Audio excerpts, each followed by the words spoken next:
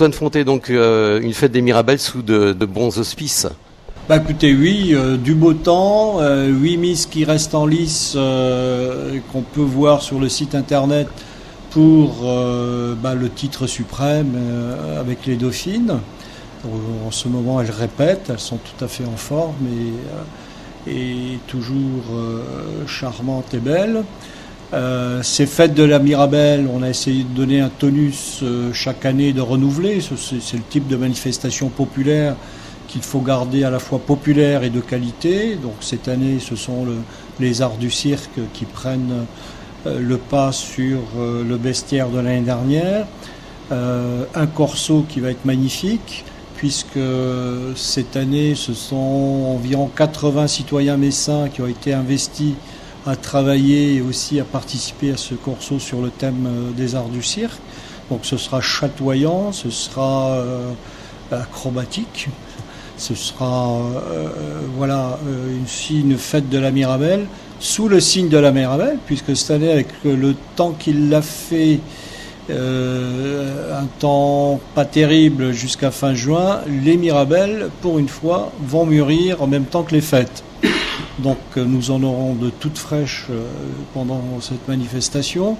Et avec euh, une grande partie gastronomique à partir de la Mirabelle, place d'Armes, avec l'école des chefs de Alexandre Neveu et quelques jeunes chefs de renom, Michel Roth qui nous parraine et qui sera présent une grande animation place d'armes sur la gastronomie, réalisation de plats, vote, un top chef euh, grandeur nature en quelque sorte, place d'armes. Donc venez nombreux en famille avec les enfants, vous pourrez cuisiner, vous pourrez déguster vous-même, accompagné d'un chef euh, qui euh, vous conseillera.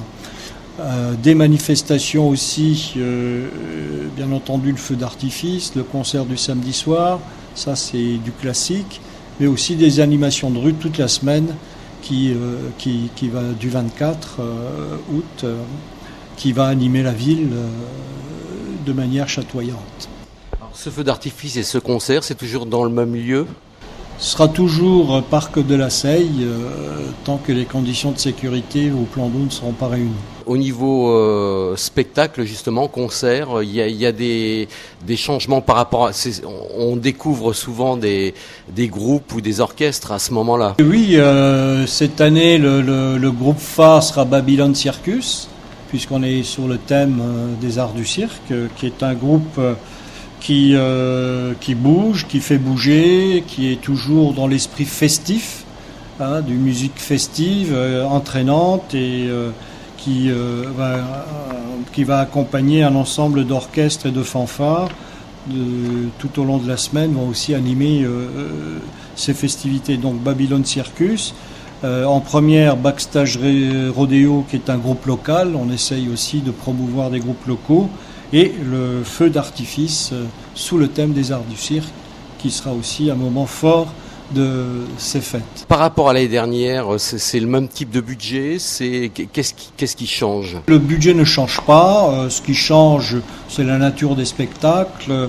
le fait qu'on ait confié à deux artistes, Jean-Christophe Rollins et Michel Laszlo et Tommy Laszlo, pardon, l'organisation de cette manifestation euh, et qu'ils ont fait travailler dans des ateliers euh, des populations des quartiers qui vont participer à la manifestation. La nouveauté, c'est cette interactivité avec la population qu'il n'y avait pas avant, au-delà des associations, bien entendu, qui participent, hein, les bénévoles. Donc voilà, de, de, plus en plus donner à cette fête une interactivité avec la population, l'impliquer dans, dans, la manifestation, la faire participer. L'autre point fort, on en parlait tout à l'heure, c'est l'élection des, Miss et ça se passera également à Metz-Plage, toujours le même site. Comme tous les ans, sur Metz-Plage, le beau temps est là, il sera encore là, donc n'hésitez pas, venez, c'est un grand moment.